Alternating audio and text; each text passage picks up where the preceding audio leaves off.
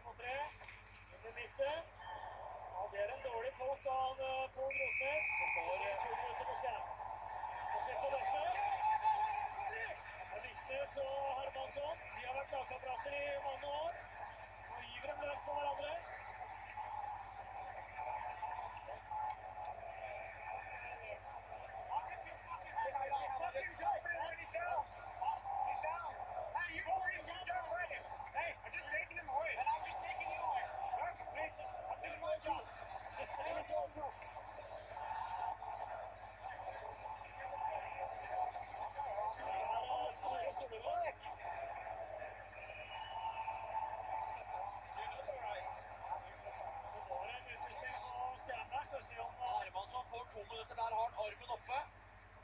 tar eh, den ekstra dypt, og så tar Vitne tak i beina hans og gir den en uh, men han, jeg tror det, ser ikke ut som han treffer